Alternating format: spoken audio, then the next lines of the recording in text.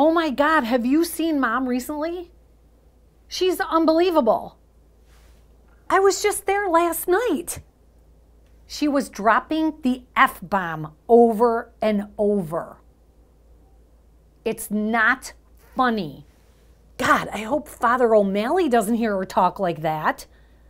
What is going on? This is not like her. Yeah. Then she was telling me that when she was a teenager that some shooting happened in her old neighborhood and someone's dog got killed. Did that really happen? Well, she swears that it did. I don't know what to believe anymore. Oh, oh. Oh, and get this. She said that Carolyn, her friend that lives across the street, no, the other neighbor, Carolyn. Yeah, that neighbor. Anyway, anyway. She said Carolyn is getting way too fat and has hideous fingernails. She actually told her that to her face. What are we going to do? She's out of control. Mom would never have said mean things like that. What are we going to do? I've told her to be nice, but she keeps on doing it. This is not like her. Oh my God. I, I know. Okay. Yeah, I gotta go. All right. Bye.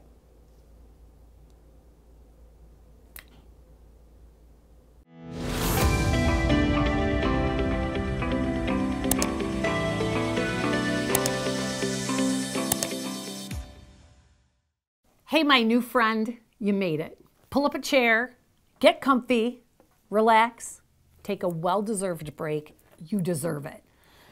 Man, life can be so hard sometimes. I'm going to tell you, you're doing a great job. You are. You are a hero.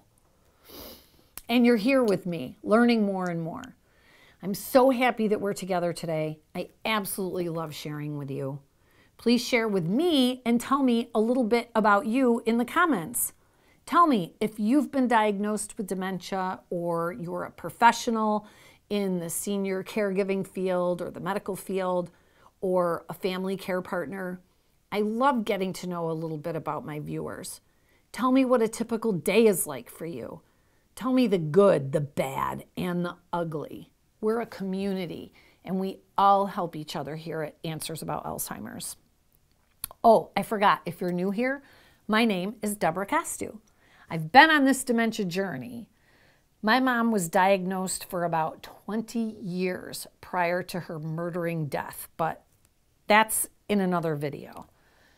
Anyway, even though I've had my personal experiences with Alzheimer's and dementia, it's different from yours. Even though I've worked with hundreds of families dealing with neurodegeneration, your family is different from them.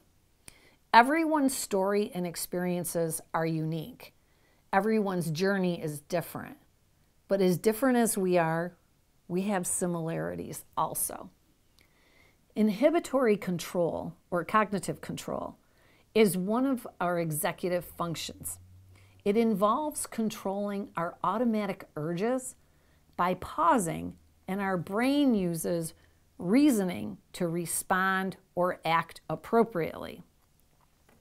This function allows us to think before we speak. It allows us to focus on what we choose to focus on and resist temptations like eating cupcakes for every meal. Our inhibitory control helps us to see things from another perspective and gives us the ability to adapt and change. It gives us the ability to rationalize. Have you ever had an unwanted thought? Of course you have. We all have. Like just a terrible thought, maybe of a loved one getting hurt. You think to yourself, where did that come from? Maybe you saw on the news a person brutally murdered and you think about something similar happening to someone that you know or maybe you're worried about your child who's not answering your texts, and all of a sudden these unspeakable, terrifying thoughts run through your head. You, with your healthy brain, you are able to push that filth from your thoughts. You are able to dismiss it you are able to forcefully change your thought pattern. You can change what you're thinking about by making a conscious effort. Those with dementia, they can't do that. They don't recognize that it's a negative notion. They can't even try. So when they say something inappropriate, it's not necessarily a true concept. It's not really the person's beliefs. It's the mind going in its own direction. It's a free for all. Whatever pops in is coming out. Look out, it's coming. The frontal temporal lobe of the brain is damaged or affected by dementia. We begin to have difficulty with knowing what is appropriate and what is not. Our social skills fly right out the window. Nothing is off limits anymore. The prefrontal cortex, or the PFC, is located above the eyebrows behind the forehead, and it's part of the frontal lobe of the brain.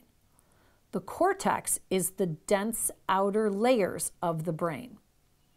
This is where most of our brain neurons are located. It is also referred to as the gray matter. The PFC, or prefrontal cortex, is also responsible for decision making. It enables us to predict or see future possible outcomes or implications of certain actions. So imagine if you have cell death in this area of your brain. For example, you're at a karaoke nightclub and someone is singing really bad. You would refrain from telling them how ear piercingly annoying their singing was, that their voice made you want to slit your wrists. You would stop yourself from speaking your mind. That's thanks to your PFC and inhibitory control. Thank you, prefrontal cortex. But if you have damage to this portion of your brain, you wouldn't think twice about making that comment, nor would you understand the feelings of others, and you would tell that person they sucked. It doesn't mean that the person with brain damage is an uncaring individual. It doesn't mean that they are rude. It simply means that their brain has lost the ability to rationalize and contemplate consequences. Have you ever heard the story of Phineas Gage? This is a great story. So, in 1848, in a little town in Vermont, this man, Mr. Gage, worked on the railroad. He was putting dynamite powder into the rocks to blow it up for the team to put down the tracks. He was using a 48 inch long and a one and a quarter inch diameter metal rod to pound the dynamite powder into the rock when it exploded.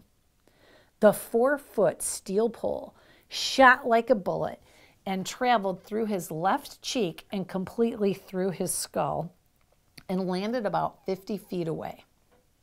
Conscious, conscious, he then rode an ox cart to town to get medical attention. He survived an infection, and as time passed, his behavior changed from being a mild mannered man to something quite different. He was no longer allowed to be around women because he would say rude and offensive things to them. Now, it was common for him to use profane language, which was not part of his previous character. Phineas Gage was one of the first cases to link brain damage to personality changes. He was known as the man who began neuroscience.